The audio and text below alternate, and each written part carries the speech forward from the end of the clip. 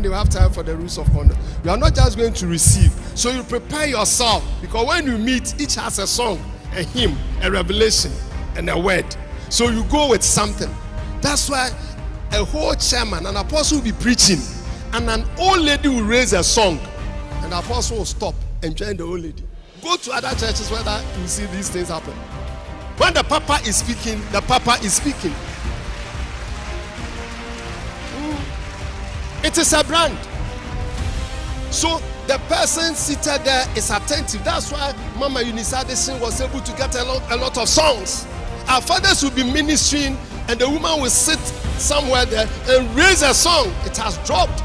The word misses on her heart, and then the piano on her heart produces some songs. It is a brand.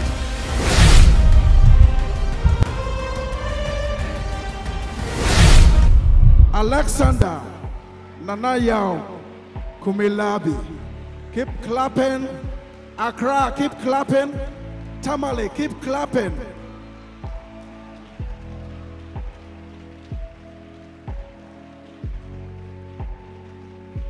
Praise the Lord. Praise the Lord. We give the glory to Jesus and tell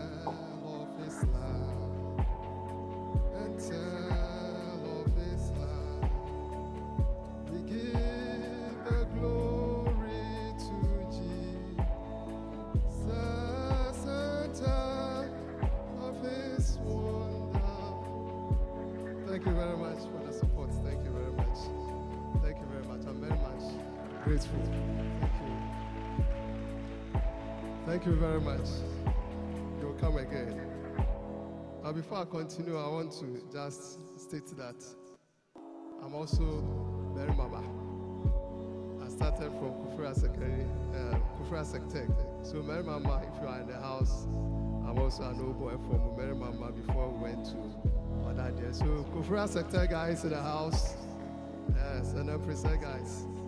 We are all together. Thank you very much for that introduction. This evening, I'm humbled to be part of this program. And I first of all want to bring you greetings from the headquarters of the Church of Pentecost, the management and staff up there who are supporting us to run the administration of the church.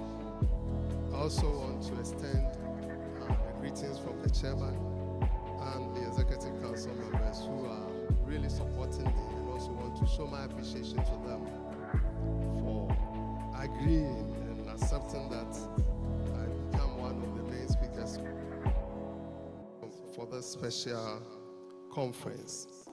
To the youth director and his team, I'm very grateful to you.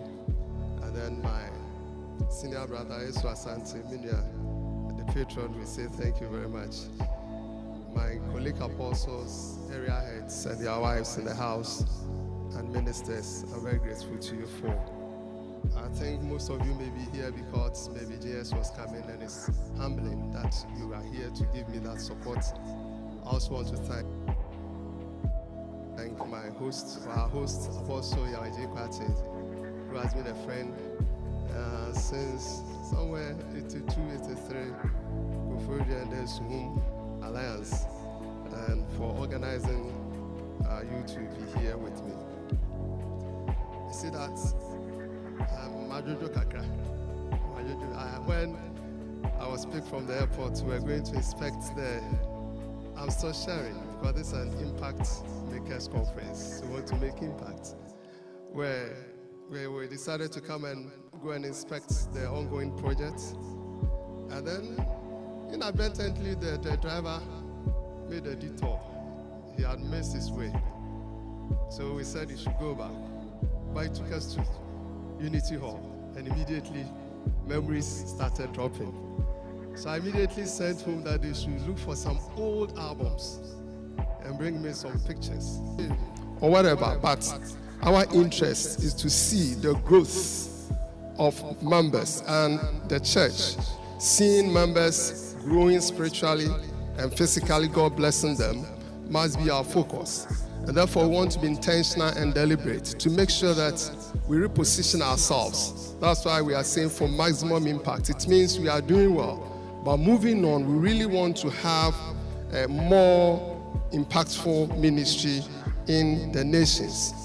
So the second one, which has to do with Colossians 2 6 and 7, it says, "As So then, just as you have you received Christ Jesus as Lord, continue to live your lives in Him, rooted and built up in Him, strengthened in the faith as you were taught, and overflowing.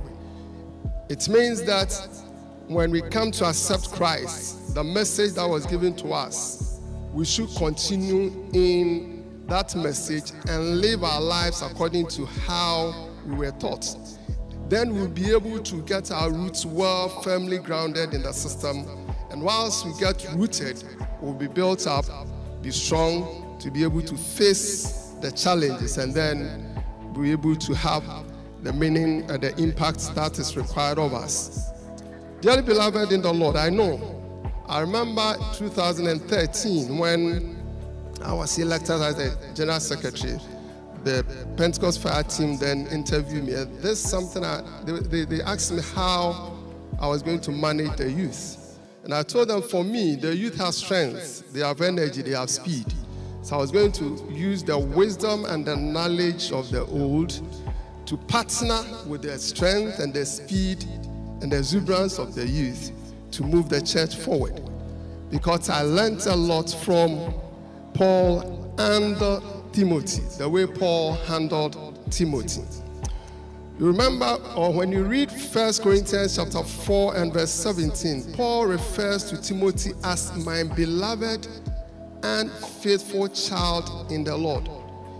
It sends a message of some uh, uh, uh, affection, some bonding between Paul and Timothy at the time.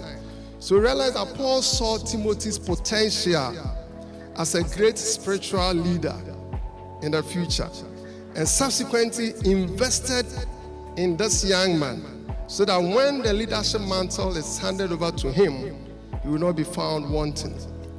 So, as Paul planted churches around the Mediterranean and converted thousands to Christianity, he realized he needed a trustworthy person, note it, a trustworthy person to carry on after he died.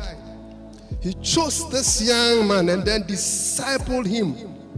So Paul chose Timothy and intentionally discipled him because he found in him some leadership potential. So I'm talking about patching the youth for maximum impact. As the youth director rightly said, we have over about 80% of our members uh, being less than 40. I, I, I was doing this whenever I, I, I visit an assembly, I ask them to stand, and virtually the room becomes empty. And I observe that uh, we have the youth being in the in the majority. Therefore, whenever we are doing planning and everything, our focus should be on the youth. That's why we have space for you. This year, the, last August, the youth ministry alone brought us about eight memos. And we took all and the youth director had to come and defend it. So in our planning and schemes, we factor the youth because we see potential in you. If God picks some of us, non-entities as it were, and has brought us thus far in ministry and then in the nation, we're able to contribute our quota. I see that if you avail yourself and subject yourself to training, the Lord will take you very, very far. So Timothy was a young man who began traveling with Paul and Silas along the coast doing ministry here and there. So Paul intentionally mentored Timothy for the task ahead. So when Paul picked Timothy as a successor, he realized this young man will work among the Jews. So Paul circumcised Timothy. Acts chapter 16, verse 3. Timothy subjected himself to circumcision because he wanted to have impact in the future. The leader saw something in him. He knew that the work would grow, and therefore you need this young man to partner him in ministry. But going to work among the people who, the Jews, who, who, who, who, who liked or accepted people who were circumcised, Paul decided to circumcise Timothy. That was painful. And I want to throw the challenge for you. If you want to be a leader in this church, if you want God to take you very far, you should be able to go through some circumcision. You should be able to subject yourself to pruning, some cuttings, some molding. If you are doing construction, you don't always put full blocks. Sometimes you need some space about some four inch to fill. Meanwhile, the blocks are 18 inches, so you have to cut.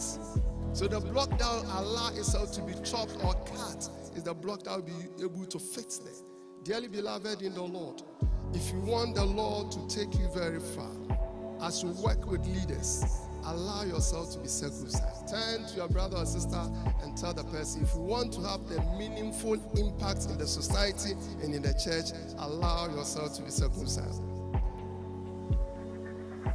Mm, it's very, very, and it's very, very painful. Hello? It's what I mean by circumcision anything that is unwanted in your life.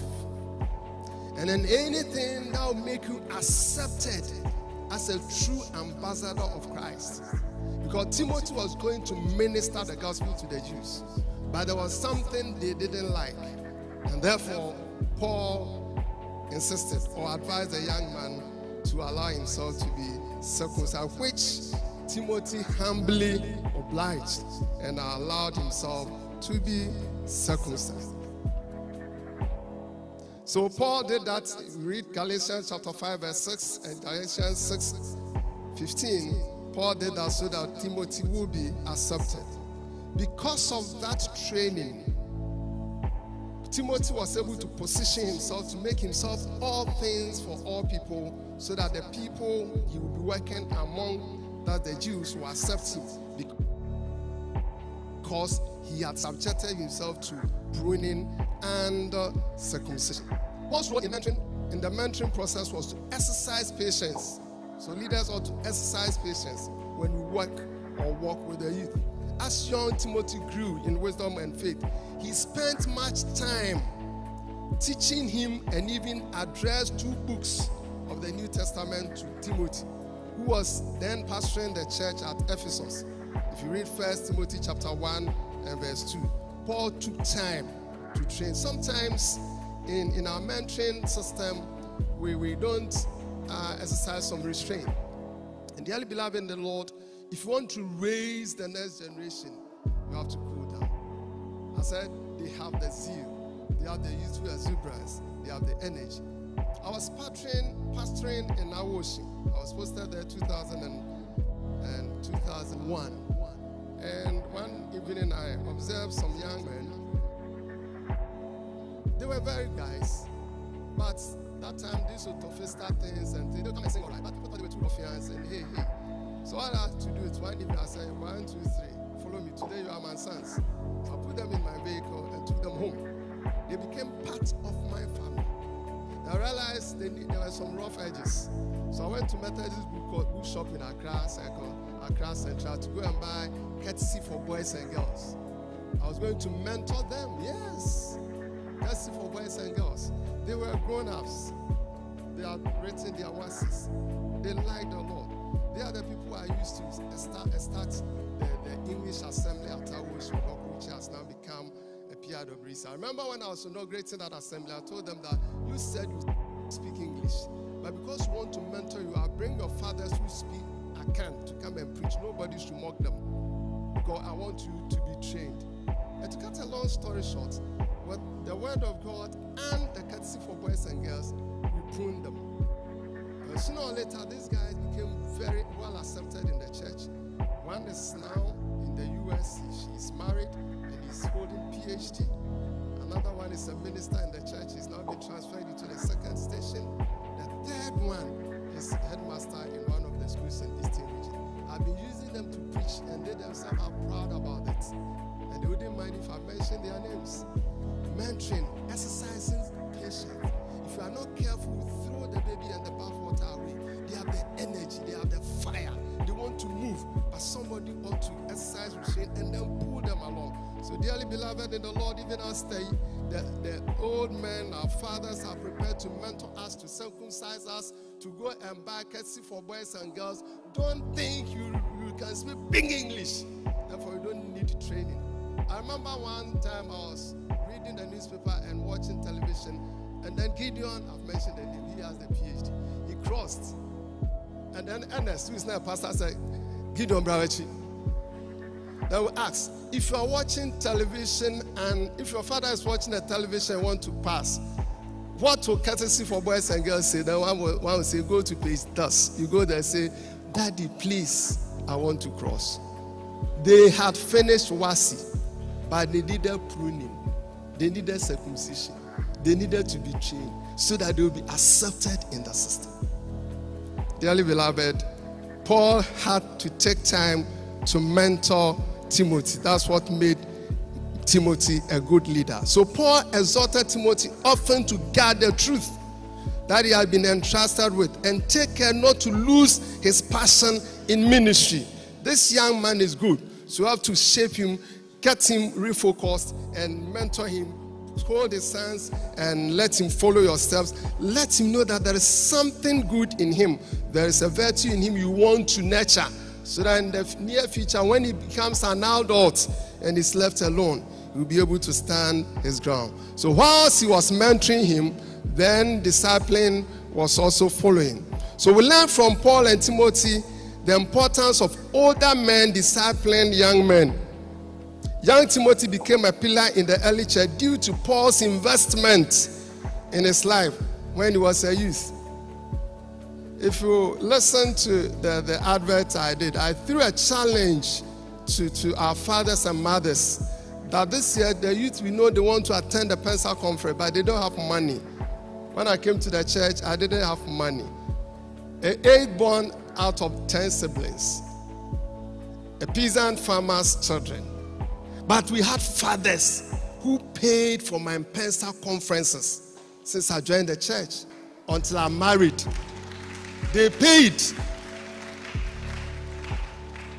The later the SY Mreku and the Asari and the Elder Kisis, they will pay. So this year, I've paid for a lot. Because that's how they did for us.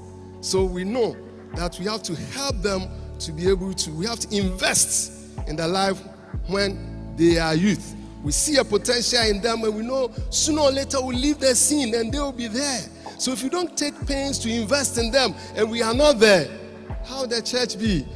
And because we want them to build on a sure, solid foundation so that church will grow from glory to glory, we ought to invest. That's why anything concerning the youth, the executive council take it very seriously.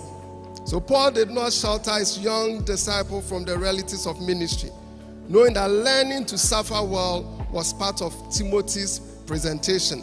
So if you read 2 Timothy 2, verse 3, and then 2 Timothy chapter 4 and verse 5, Paul opened up for Timothy to know how life is, the challenges he's going through, and all the difficulties that associated with that were associated with ministry.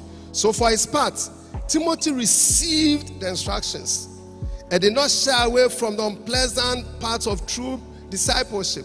So, if you want to disciple somebody, you know there will be an unpleasant part. You want to go your way, but your father said this way will not help because you are a Christian. You want to put on a particular attire.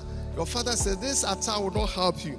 Timothy was prepared to, to, to listen to those advices. Because of their strong relationship, they both benefited, and the gospel was widely spread. So the knowledge and the wisdom Paul had acquired, coupled with the strength and the speed and the youthful exuberance in Timothy, the two were able to move the frontiers of the church in their time very, very far. So, in the story of Paul and Timothy, we learn that discipleship is standing shoulder to shoulder in the work of the kingdom, regardless of the person's age. Once there is something good in the person, you don't look down on the person because iron sharpens iron. Proverbs chapter 27 and verse 17. Encouraging, rebuking when necessary, and sharing a common burden for a lost world. So you ought to encourage them, rebuke, and then share the burden that is on your heart. But we recall that the key character observation Paul made before bringing Timothy closer was trustworthiness. Somebody say trustworthiness. Trustworthiness. Then ask yourself, can we trust you? Do you trust yourself? Does your parent trust you? I trust you. So God will also trust you. And your parents ought to trust you. So Timothy proved to be so trustworthy that Paul sent him as a representative of the church he was concerned about. The old man could send Timothy without any reservation. He would go and come with good results. First Timothy, First Thessalonians chapter 3 and verse 2, and then Philippians chapter 2 and verse 19 tells us that. So Timothy became Paul's stand-in and also brought Paul news of the churches when Paul was in prison. So the old man was hot. He has been in prison. But there was this trustworthy guy who was working for him and bringing reports. And he also giving him advice. So Paul included Timothy as an equal partner in addresses to some churches. His salutations in several epistles began with wordings such as Paul and Timothy, servants of Christ, to all God's holy people in Christ Jesus.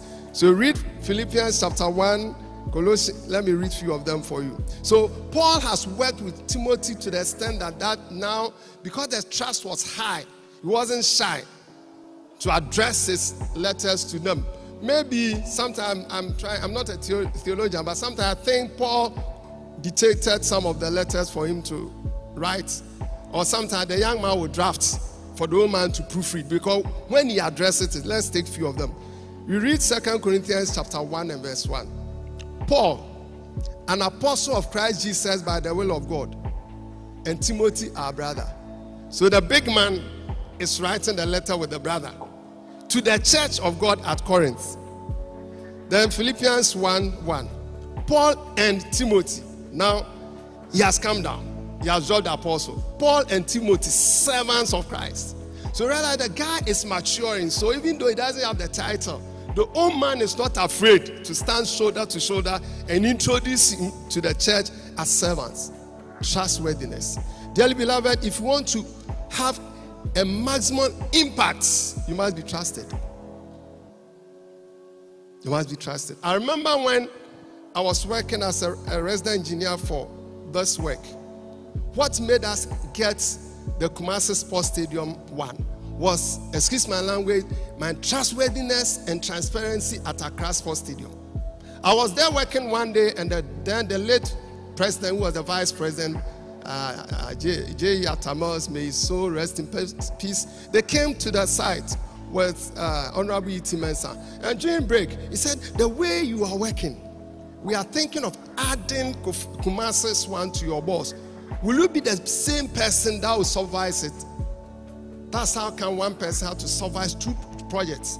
I spent three days in Kumasi and then three days in Accra. Even when I came to Ministry 99, for my first six months, the company was paying me because I had to complete. From November 99 to this, uh, June 20, June 2000, I was running these two projects because of that guy. The second job didn't go for tender and people didn't understand it. So after the CAN 2000, if you read the newspapers out there, I have them in my box, you can come and read. There was a probe, the term Abon Waha probe. I appeared about 12 times to the committee. It was, it was live on TV3 and all that. They didn't find me having stolen a pin. The reports are there. And my boss sometimes will just watch the television and laugh because this man you are grilling, you can't find anything. Can you be trusted to the extent that your bosses and the big men will say this about you in your absence? If you want to have the maximum impact, there must be trustworthiness. Somebody say trustworthiness. So I have a couple of them there. If you read the apostles, Paul will say Paul and Timothy, Paul and Timothy, all because he has mentored a guy, he had discipled him, and the guy was a trustworthy person, somebody who will not undermine his boss, Somebody who will not pull his boss down. Somebody who would not pretend as if he knows more than his boss. Yes, you are young, you can speak good English. You are young, you are eloquent. But remember, the church is built on the foundations of apostles and prophets.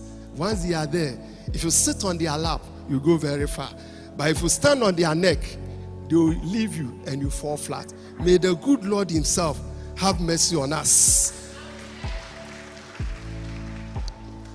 So let's look at some lessons from our forebears. What they did that has made this church the way it is. So that even as we want to have a maximum impact, the baton is being given to you. But you ought to know how far they have come. You see, with our concept of repositioning, as I said, we are not saying anything that something has gone amiss. We just want to be careful. And permit me to say, even yesterday I said this somewhere, that our, our, our intent and what is at the back of our mind, we all know that when in there is a flood, the river carries along with a lot of things. Now the church has grown, we have the numbers, so we want to be careful. So sit back and look at the flow and pick whatever is not wanted from the flow. That's what we are doing. So we are moving all right, but I want to make sure that we have a free flow. And to be able to have a free flow, any log that is accompanying the stream, we want to pick out, and any debris. So let's look at how our forebears worked, so that if there is something that we have to do away with, or a new thing you ought to catch, then you can pick it and run with. So I want to pick some lessons from our forebears. Every country, community, group, of or some other entity has something which defines them. This may be reflected in their worldview, which shapes their ethics. Simply put, the right thing to do, and ethos, how things ought to be done. It is ultimately summed up in their culture. So every institution has their do's and don'ts, and it's summed up in the way they do their things or they go about their work. They embrace it often without questioning. Ethos and ethics, which over the year become a culture. You embrace it without questioning. I don't know whether you've ever asked yourself why, when you put on suit, you should wear tie. I don't know whether you've asked yourself or you've asked that question. And I, I don't know whether your son has asked you, or you yourself as an adult have ever asked, why do you have to pound fufu? If you want to eat fufu, why don't you chew the, the, the, the cassava and, and you pound it? It becomes a culture. So cultures are not questionable. It is tried and tested, and it has worked. So you build on it. You build on it. So you embrace it often without questioning. They, they cherish it as the way to do it until something dramatic happens to shift that paradigm. They will cling tenaciously to it until we agree that we observe these things are not too good for us. So we want to tackle it. Otherwise, you can't sit here somewhere and change it. If we want to change a culture, we all have to agree and say, this is how we want to go about things. So the church, being a divine origin but composed of humans, is characterized by biblical ethics and ethos. Aspects of these are often shaped by the culture of the receiving community. So as we move, uh, Pastor Jim McKeown came. He came with the gospel. But he didn't ask us to throw away our culture. He situated the gospel into our culture. And we moved with it. Soon, the church becomes identified by its culture. Its adherents cherish this culture so dearly that they will resist any attempt to change it. I remember when we came to the church, my wife and her friends, they used to tease us or tell us, uh, yeah, mama say, yeah, papa, no, sorry. They were jealous. Hello? This is off. They were jealously guarding what their parents had taught them. So, items of the culture are no go areas. They are considered sacrosanct. Once it's a culture, they are considered sacrosanct. Unless you are inquisitive, not just maybe you want to change, that you ask your mom, why do you do this? Why do you this? When it's a way of life. Why do you have to sweep? We don't ask. Why do we have to do these things? Like every other church, The church of Pentecost have our own culture. Our fundamental beliefs are the heart of our theology. We have our governance system and our way of expressing practical Christian life and ministry. Our ministry, if you want to be a COP minister, we are not celibates. You have to marry. And we, four, five years, six, we go on transfer. That's how we do our thing. And then after school, no matter your degree, you come to COP as a professor.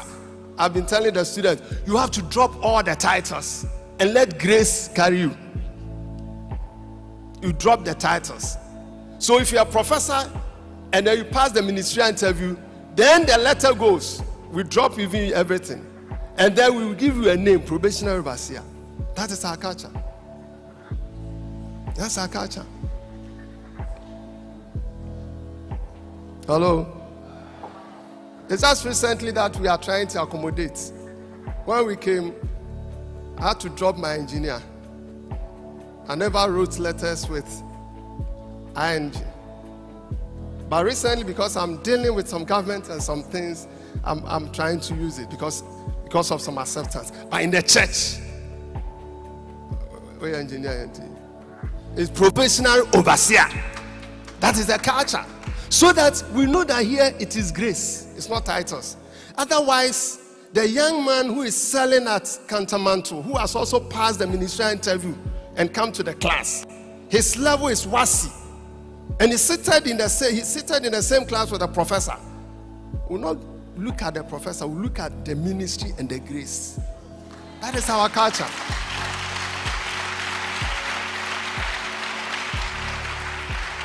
So, so these things we don't question. If you question, you sit in the class. After the nine months training, I'll be posted there. You'll be doing your calculations. Before you realize, the professor is somewhere, and the no title is somewhere. When the report came, when we went to minister and interact them in the class, the Holy Spirit told us whose grace is higher. He didn't tell us the titles.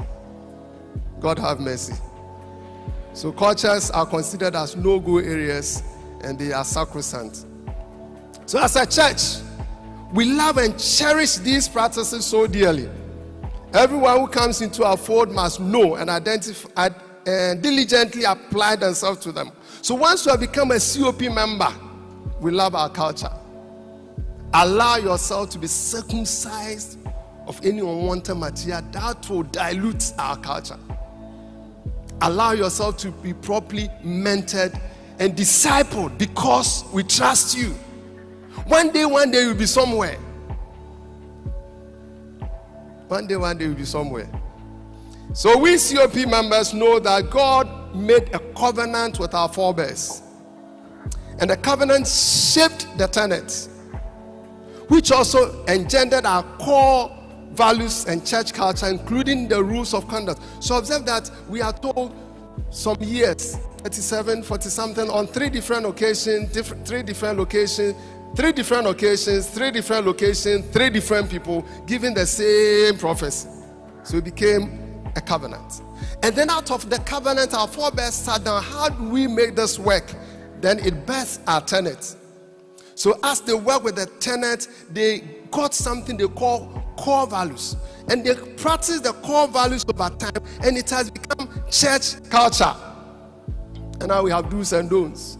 And these things, until McKeown visits us again and challenge us to stop them, some of them will never stop. Because it has become culture. And it is a Bible base. Observing these tenets, core values, church culture, and rules of conduct have given the COP a unique and enviable brand. You see, because these things have made us unique and enviable, which ought to be eh, these things ought to be guarded jealously from where I sit. The churches come to, that come to us with their leaders to come and learn how we run our church, and we say it is not good. Now, like it's very enviable, and therefore want to guard them jealously.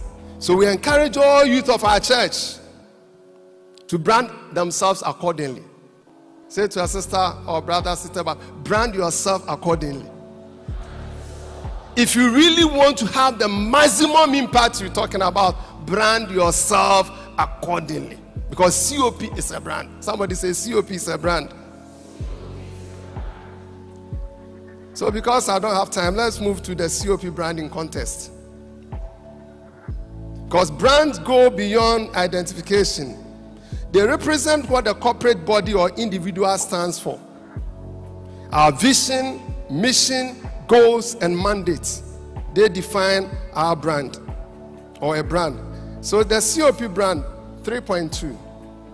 I've, I've skipped that. Let's go to 3.2 because of time. In the Old Testament, God identified the Israelites as a unique brand. In the New Testament, Jesus Christ branded the church with the power of the Holy Spirit, miracles, signs, and wonders. Reading the Acts of the Apostles, the church developed a brand of being spirit filled, communal living, and mission minded. It was out of this that early believers in Antioch were called Christians. After the death and resurrection of Christ, the people who followed Christ the way they led their lives, it became a brand. And these people, these people, these people are Christians. the name,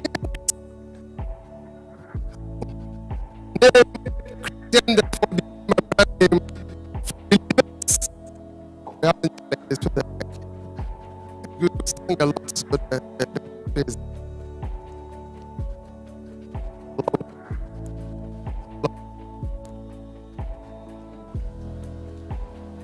Can we go on?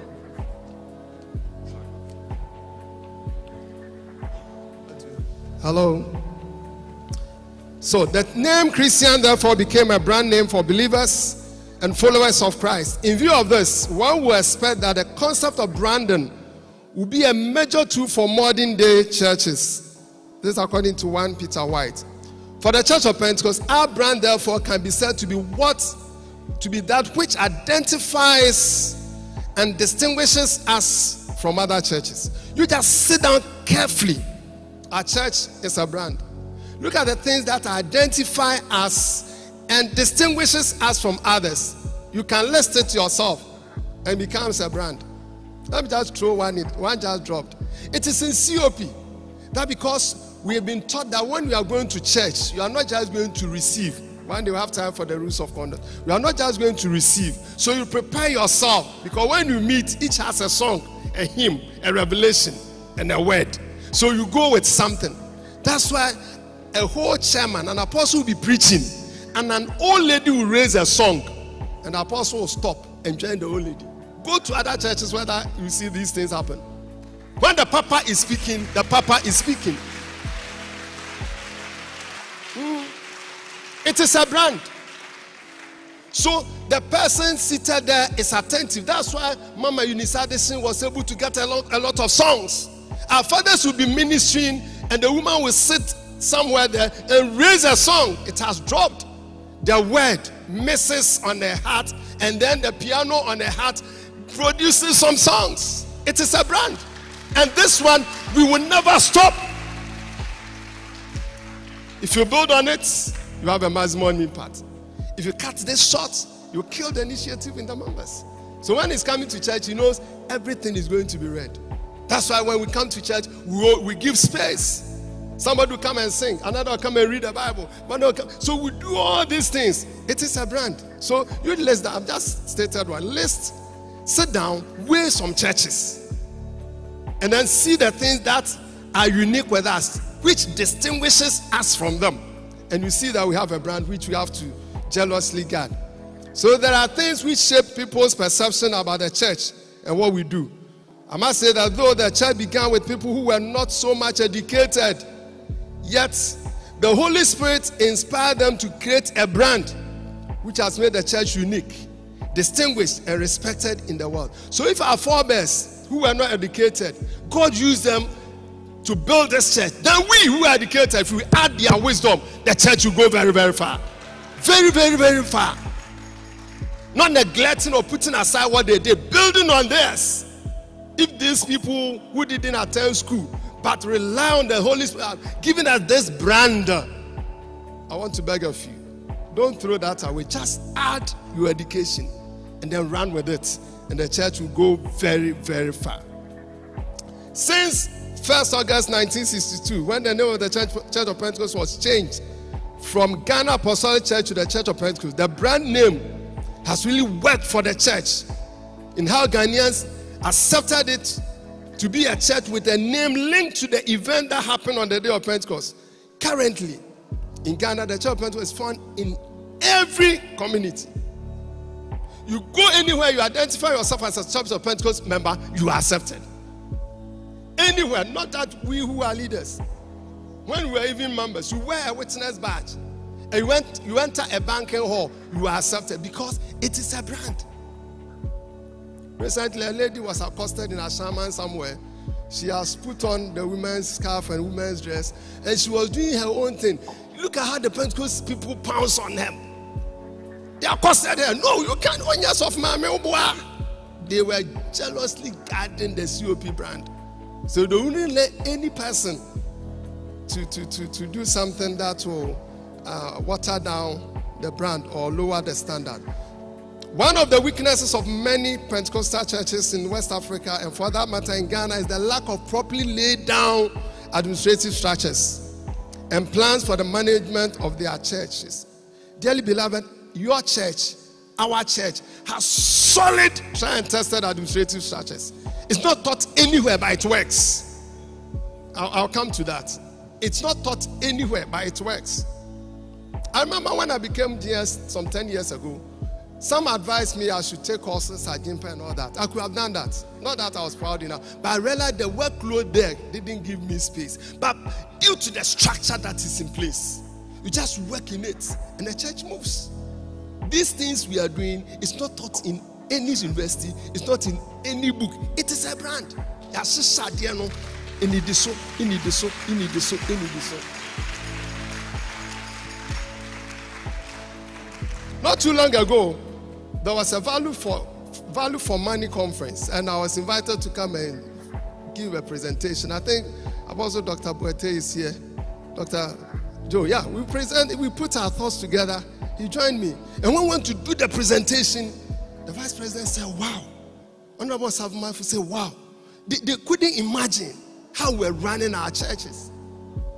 It's not in any university, it is a brand which we want you to jealously guard. And once you do that, it will take us very, very far. Dearly beloved, I joined the church not too long ago, just about 40, some 44 years ago. Not too long. Just some 44 agro. I know Greek crowd. So just some 44 years ago. And I believe I've seen few things that have fed into the branding of the church. From my point of view, few things I want to share with you. I may not be able to talk about everything, but I've listed a few which I think are significant. And they are enshrined, or you can find them in our core values and the church culture. One, consistent Bible reading. It's our culture. If you want to go very, very far and have meaningful impacts, you have to be consistent in your Bible reading and teaching. Your personal devotion and how you spend time to study the Word of God. In our church, preaching and teaching the Bible is done in regular basis. Churches, church services, conventions, evangelistic crusade and rallies, everything is based on the Word. Settlement of disputes is always preceded by the Word.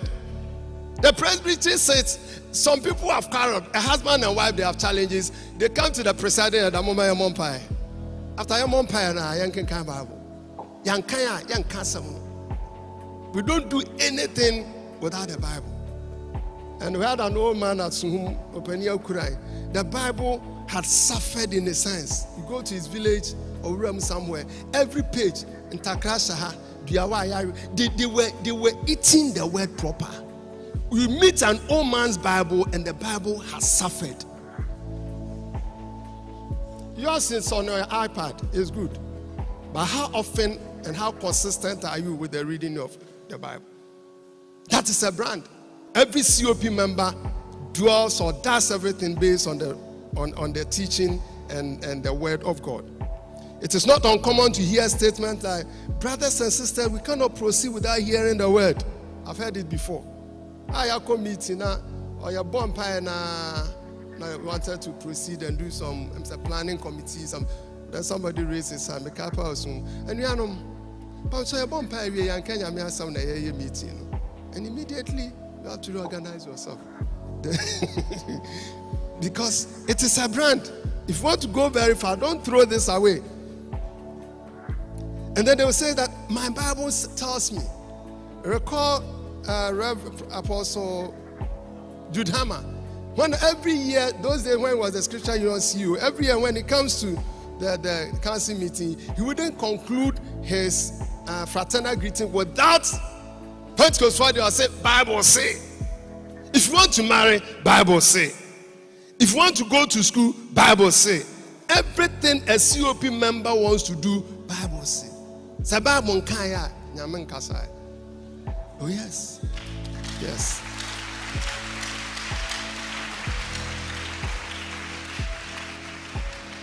And this is a brand. I remember 92 when I was going to marry. That was in church, just 92. When I was going to marry, the elder who was mentoring me, Elder S.Y. Mreku, he had given me a room and I was going to marry. Then he said he didn't understand why I should leave her house because she was going to give me a place for me, myself, and my wife. My wife, too, was also staying with a rich man, his father, Elder Kisi. He had about four different houses in town. But I told them, the Bible say, "Eyi nti na ɔbarima bɛgya a n'agya ne ne. That is what broke them. That's what broke them. My in law has about four or three different houses, compound houses people had rented. Adamreku had Peace House and Peace Villa, compound houses. I left there to go and rent a hall and chamber for my wife, who was a rich man's daughter, to visit a public toilet because Bible say. This is a brand. Hmm? Then the Bible I can't find For this a man shall live. So I'm a man and I should live and go and clinch. And we left and we clinched. And since 92, yeah, a come on. God's Bible say. Let's give a clap of front to the Lord.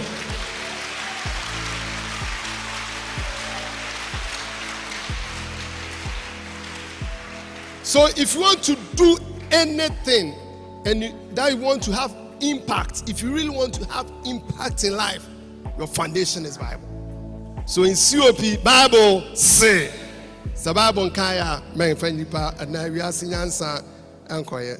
Then the next one I want to talk about is evangelism. In the church, evangelism is a way of life. It's not a ministry. It's not a preserve of a few.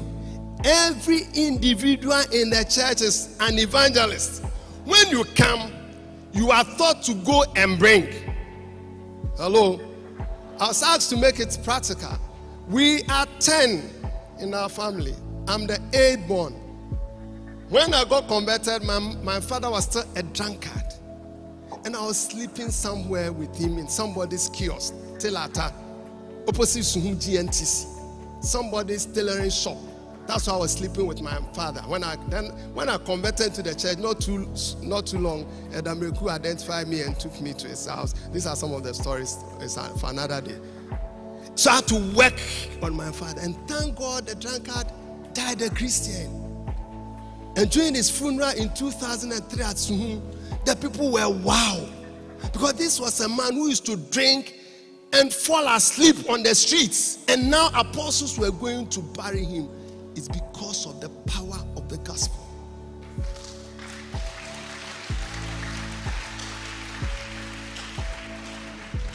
So for us, Dawn broadcasts, open air services, evangelistic campaigns, rallies, crusade, every opportunity. Those days we used to, you can say, you crack Bible, you crack tracts. You write to institutions outside and they bring you tracts. So when the students come home, Sami Doku is here. Tata Doku, Lieutenant Kumiwood, Lieutenant Kendo Kumiwood, uh, Elder Keba, and then Tuapia, and then ABM. Every vacation after village evangelism, this year they will come to Sum, we'll do evangelism You go to Zoom, they know this, my friends. There's an old man who is about 90 years. He can recollect the songs at the, at the caveman thoughts at Zoom. We come, we pitch camp and saturate the system with the word of God. Then the next season, we go to Hope. Bible after after after developing our spiritual life, then you have to move into the communities. So evangelism, yeah, the triumph is part of us. If you want to have an impact, be an evangelist. You enter any community, let them know you have arrived. That one alone protects you from evil. I remember once I was preaching somewhere and I threw a challenge to them because I've shared the gospel all over the place. And I said, Maba Mugu, and when I catch them, some are sending pepe. And they were coming. I threw a challenge because at the marketplace, at the hospital, at the church, everywhere the word has been shared. So after studying the Bible, the next thing that you have to do is to move on to evangelism. Every member, every you have the strength. Now you have the social media space. Use it. The next one is church planting. I'll skip it. And let me come to discipleship. I've also spoken about it under the the the, the uh, mentorship. So I'll go to personal practical holiness. In our church, holiness is something that everyone ought to work on. Item 4.5. Whereas it is true that nobody can or should judge another person's status in holiness, the church believes that sanctification is also progressive. The believer responds to the work of the indwelling of the Holy Spirit by bearing fruit of the Spirit. So in the church, holiness becomes a personal pursuit. Everybody wants to work on, it, on his or herself so that some weaknesses in their life will, will be dealt with. Members should therefore not drink alcohol, these things. The teachers, it was taught in church, it was spelled out. I remember once, as whom there was this gentleman who had come to uh, uh, accept Christ, and not too long ago he was coming to give a testimony. And then when he stood, I started kasana and a paper between the bottom, a little paper. Immediately after that, there was a presbytery meeting we have to work on the person. How is your level of holiness? Because we are taught that without holiness, no man can see God. This was also when I was a young man at Bomoso, and also Apostle Asante was my brother, my friend Minya, the way they raised the standard of prayer and holiness at Bomoso, you dare not. Check your plan so I fear straight. Fear state. Even when they are playing drafts, you want to go near, you think you will sin, you fall, you, you, you, you, you commit some sin. Wherever people meet and they are not Christians, you can't even join them.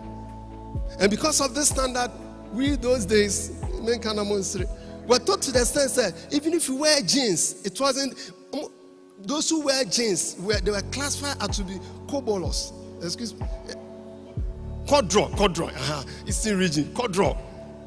So you even know where you went to straight your tuna when you are going somewhere. Because the standard of holiness was so high that you were careful not to be missed or be suspected or to be perceived as being one of them. So you were sanctimonious.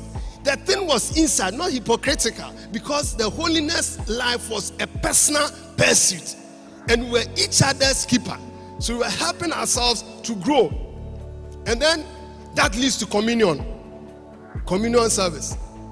The brand in the COP, one of the, the, the, issues we cherish the communion service. It is a day that we so much put premium on, not only on the time, because we know if you don't eat, you can't move on. And it was a time to test your holiness level, how you have led your life for the previous month. Because those who not attend communion will be called and interviewed and asked questions and not that you are going to cover up. You want to be faithful and sincere. So you confess and deal with your any hidden sin. So you come boldly to the table to take it. If you don't come, we'll meet you, not for sanction, but at least questions will be asked. Hello. These days, if you are not careful, think it, it is my private life. And therefore, you can't go there. Then prayer. Prayer too was key. This afternoon, when myself and was to when we were passing by Pajo, we said, Empire yet deal park super. I hope you still be in on Pajo. Or they don't let you go there. There's a basement here, and then the Pajo. Oh, Kumi, uh, Sami Doku, my roommate. He was my roommate, final year. After studying and we are tired, then we go on a prayer walk. We come there, you meet Kumi Wood, you meet Keba. It's another church service. Hmm.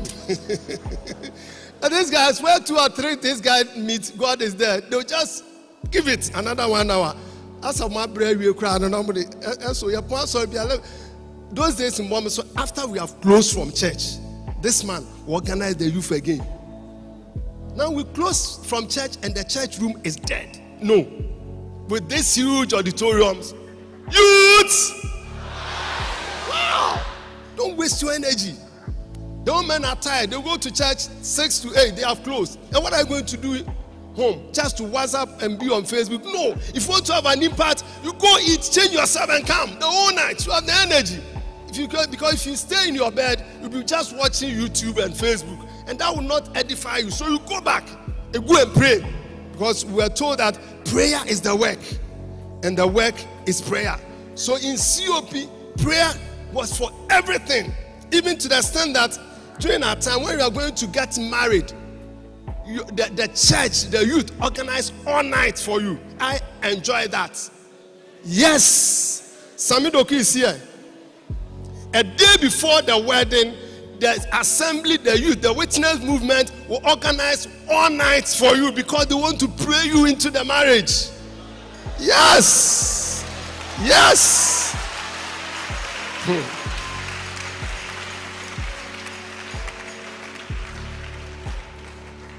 Hello. Yeah, so you see, we don't.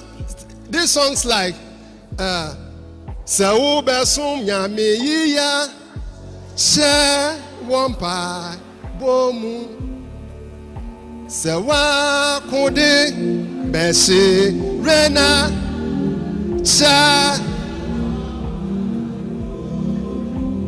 o pae bɔ tumi ya biribi ara ɛdi na wode bɛbrɛ ɛprɛ boa ne anigye ba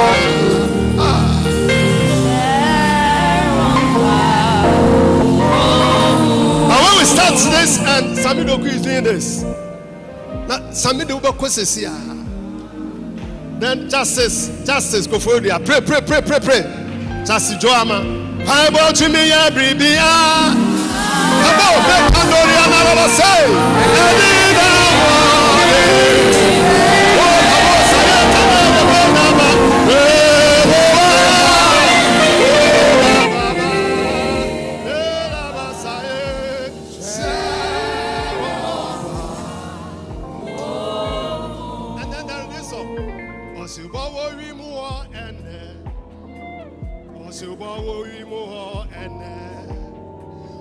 Ọ̀sùnbọ̀wọ̀ rí mú ọ yẹ̀dí mpàbọ̀ bẹ̀ tí a.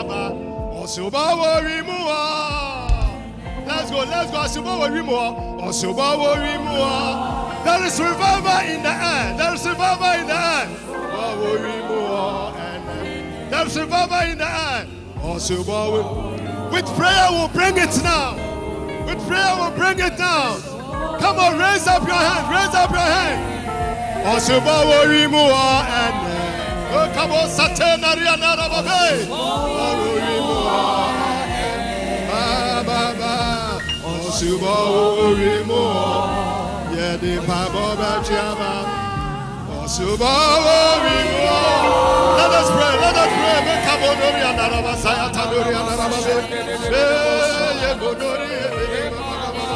Oh, Anaraba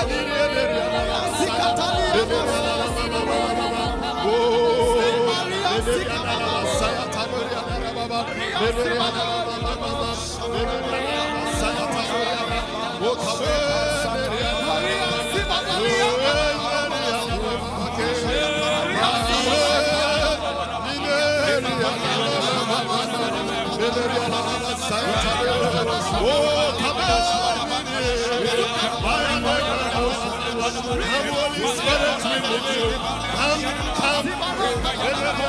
come,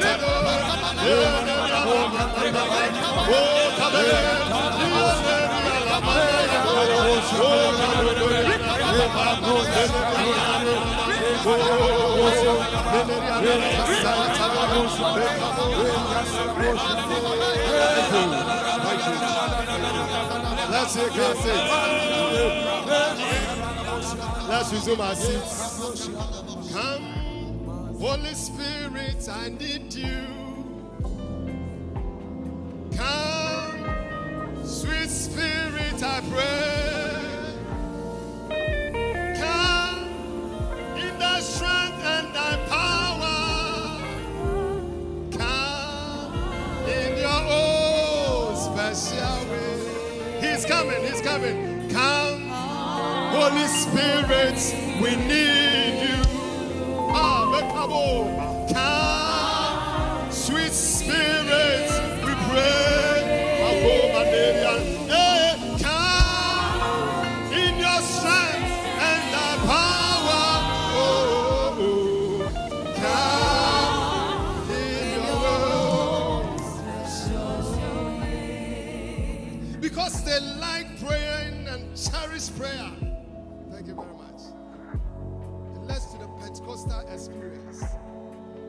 When we came to the church, our brand is that anybody who accepts Christ must speak in tongues. Anybody, everybody ought to speak in tongues. So ours is not the, the Holy Spirit baptism that is in you. Ours is the one that is firstly comes out with the evidence of talking. When we came, the interpreters on scriptures. When theologians came in, we realized it was wrongly interpreted, but it worked. Let me say it, kon- So for us, Sankawa, kan- so yeah, day, never count. No, it's papa this. This is our brand.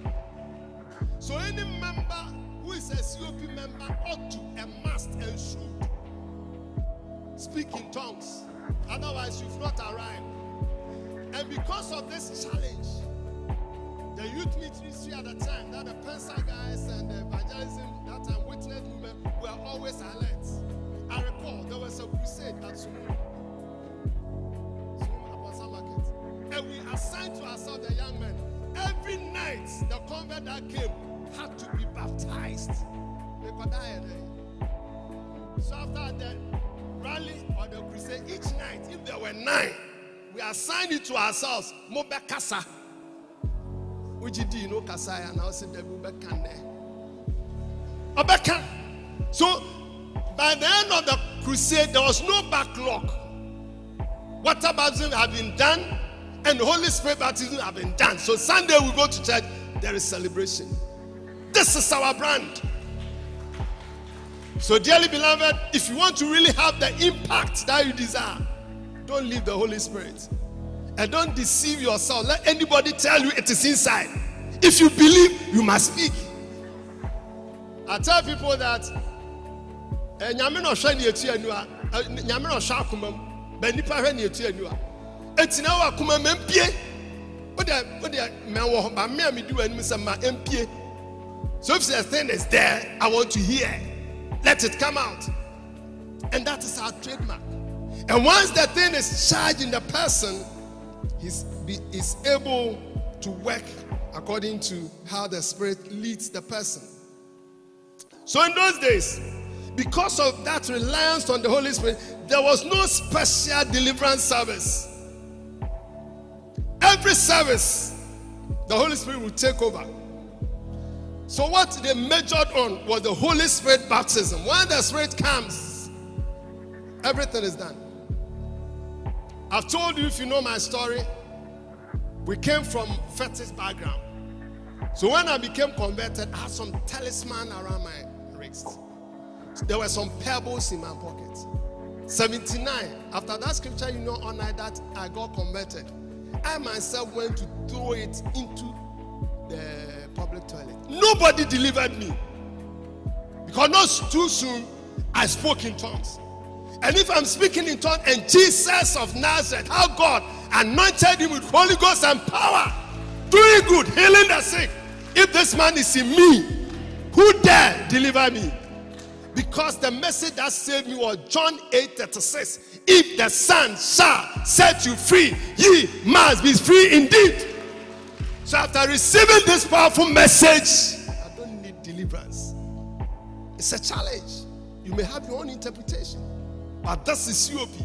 So when we go to the Kokwasim Paba on Friday and we pray, Oje, Oja, Oja, once you pray, the Holy Spirit comes, then the deliverance follows. We didn't have deliverance pastors.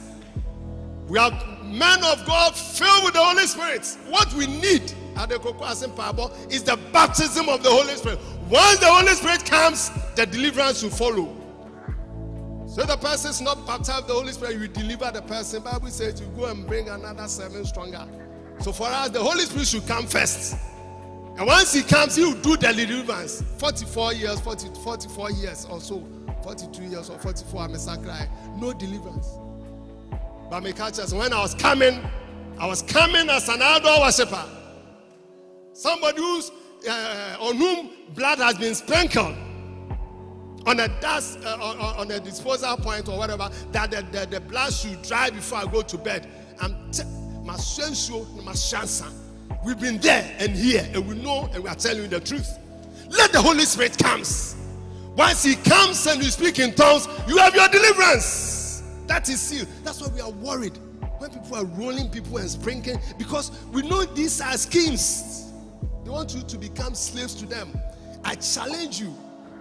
Just stand and be filled with the Holy Spirit and see whether any evil spirit can enter. So the church is perceived by many as the Holy Ghost church. We all recall this video that went viral where Isudanaba was saying that in the COP everything is Holy Ghost. To marry, Holy Ghost. To drink, Holy Ghost. To vehicle, Holy Ghost. This is our brand, and we dare not throw that away.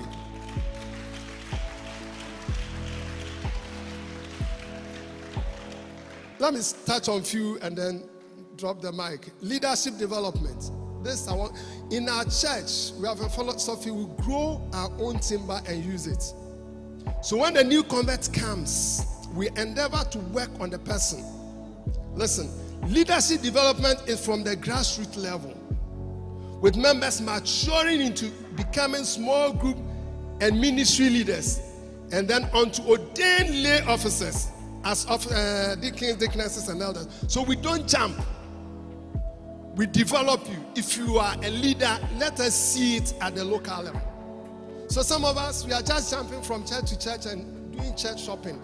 Identify yourself at a local. Let them give you some work to do. And once you have some work to do, and they see the grace on you, the grace carry you further. So there's nothing like lateral injection. No, it's a free flow. So identify an assembly and then get involved because we want to develop you from there before you become a leader. One significant factor which has contributed to the COP brand is the way we call people into ministry and leadership. I've spoken well about that. And then the kind of succession plan that we have in the church. Ministry, to come into full time ministry, begins at the local, begins at where you fellowship. And then the next one is in COP, we believe in the second coming of Christ. So in our church, our fathers were so much engrossed in it that every meeting when they're about to close, they will say, if Christ tarries. God we're taught that as we are going, he may come. Therefore, be careful the way you walk. And then, if Jesus does not come tonight, then we shall meet. Some of these small, small things side us to remain focused. Then there was constant reminder towards personal holiness. There's a constant reminder to preach the gospel. There's a constant reminder towards doing good works. Then church discipline. Somebody say church discipline. It is a church with discipline, irrespective of your stature or structure or whatever. Once you don't conduct yourself well, we discipline, but we don't discipline to destroy. We discipline to reform. So when something happens and the leadership calls you It's for information. It's in extreme cases that we excommunicate. Recently, we, we, we, we are mindful of using excommunication. We do severance of relationship. If you're in the church you decide to establish your church, instead of we just say, just take your church and let's be. But I want to emphasize that in our church, we believe in discipline. Let me spend some five minutes to run up and touch on church culture. First one, respect for authority. Dearly beloved, irrespective of people's stature, age, because of the offices and the titles we've given them, let's respect leadership, the hierarchy. The deacon, the deaconesses, the elder, pastor, apostle, prophet helps us to respect the authority. You see, it's because of the authority that when Apostle Ntumy became the chairman, it wasn't his age, a number of years he has spent in ministry, but the title is chairman. So once he becomes chairman at age 40, Apostle Anson, who had been his area head before, had to respect him. This is our culture. Once somebody is ordained or moved into another office, because of the title, you are called a person the fullest respect. This is our brand. Otherwise, it will be like Mebe Machi. I came before him. No. For us, as I said, it is grace. When the grace locate the person and the favor of God is on the person and is moved into an office, you forget about your relationship and then Sami Doku is my roommate. Sorry, I mean, today I said the site impact. So I should say Sami Doku uh, was my roommate. He helped me to plan my wedding, 92. But when I became GS today, he called me boss. Since 2013, up to now, Sami has never called me Alex again. He calls me boss. He has moved from Alex to the office. Respect of authority. This is our brand. I want to beg of you never to depart from that. Therefore, our rules of conduct item F says, and let me read. During casual conversations at work or home, do not speak disrespectfully or disparagingly about the church and God's servants. Make your concerns and grievances known to the appropriate authorities for explanation or redress. On this call, I humbly want to plead and beg of you.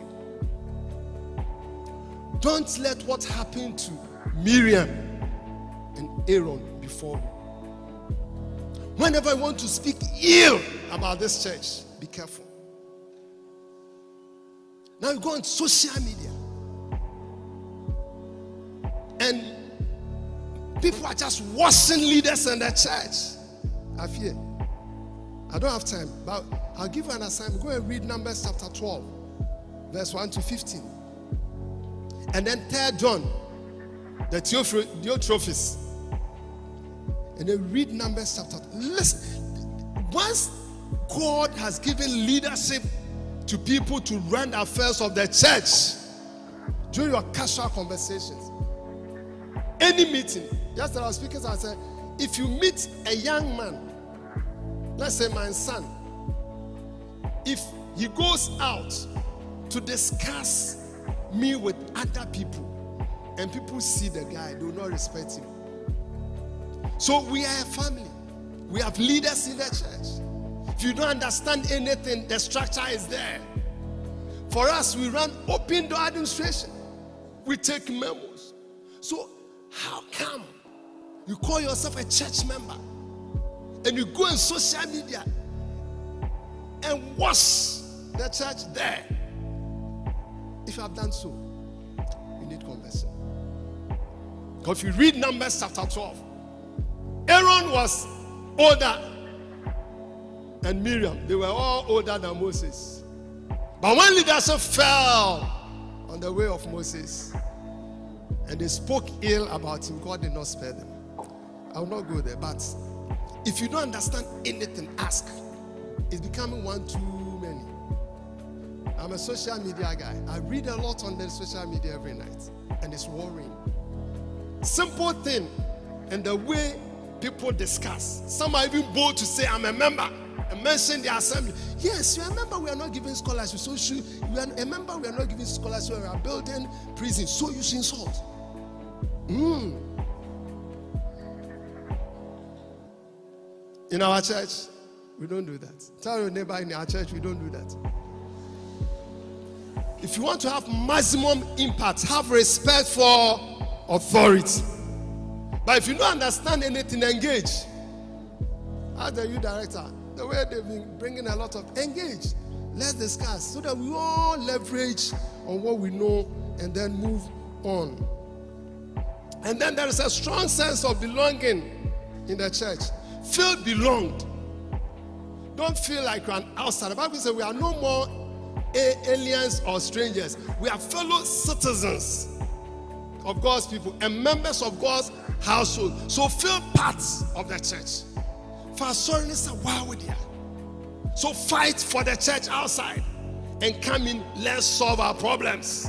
Don't join those outside to fight the church. Hello. And then we have mutual respect for one another. And then let me touch on moderation in dressing and appearance. Moderation. Be moderate. Our ladies, don't expose sensitive parts of your bodies to church, to, of your bodies to people when you come to church. Sometimes I ask people, some dresses you cannot wear to your office. But for church, you decide to give Jesus V. Hey, Jesus, Jesus on your guys out. Jesus on your guys out. So, so, so let's let's be decent in our dress. If you want to have maximum impact, you should be accepted. Recently, we traveled somewhere. I think I was from UK to Canada, and then we got to a place. Some whites came to me. They thought I was a field staff, ground staff there. And they started asking me about the flight. And then I, I said, You're not an officer. And your dressing looks smart. Another occasion, I was traveling with my boys. We go to uh, Amsterdam. We just walked through. I just put the passport. They didn't access anything. Because their appearance suggests they are decent people. Decency will take you very far. So please, in COP, we emphasize on moderation in dressing and appearance. The young men are advised to dress honorably. Let people. And then the next one, sacrificial service to church. I'll touch on that and conclude. Sacrificial service to church. In this church, we contribute to the kitty. We don't eat from it. Say we contribute to the church. We don't eat from it. So you ask yourself, what are you bringing in? Since I finished school in 1991, I've done a lot of structural designs for the church, but God is my witness. I've not taken a dime. Because we were taught that if God blesses you with something, we contribute to the growth of the church. You work outside and then you support the growth of the church. When you need your expertise, and your knowledge, you bring it on board because it is family business. The church is family business. So nobody should eat from the family business. We work from outside to support it. But these days, you are not careful. People go to sweep even church and they want to be paid. Everybody wants to be professional.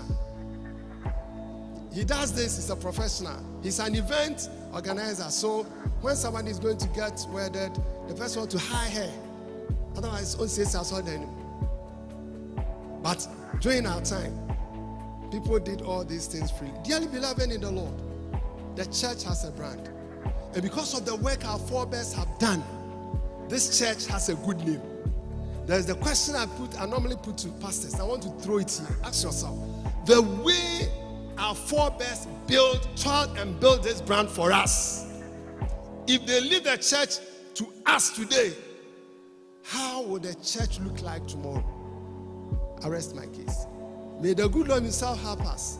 So that even as we prepare you to take over, when the battle or the baton is handed over to you, God Himself will use you to have the needed impact in the church and in the nations. God bless us all.